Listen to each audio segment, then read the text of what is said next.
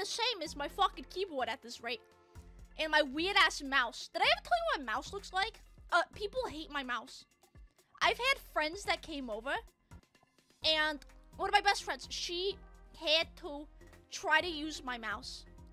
And she said, This is one of the worst mice I've ever used. How do you live like this? But you know what?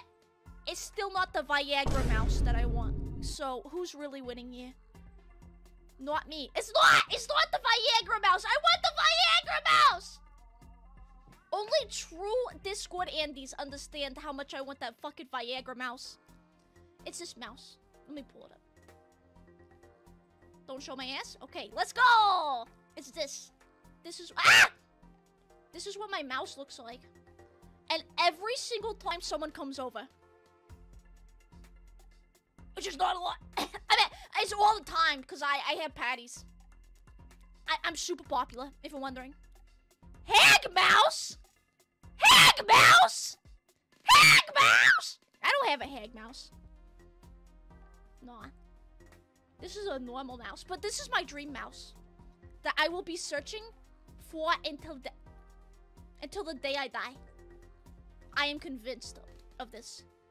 This is my I will a hundred percent, a hundred percent switch this mouse out without caution, without any reasoning. If I find this mouse one day, this is my dream mouse setup. That is Pfizer Viagra, and it has a plastic Viagra pill within the liquid. I need it. You know how bad I need this fucking mouse, dude?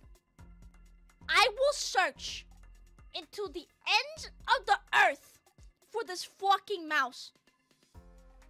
I'm going to fucking Mordor for this shit, baby. Mordor! I need it.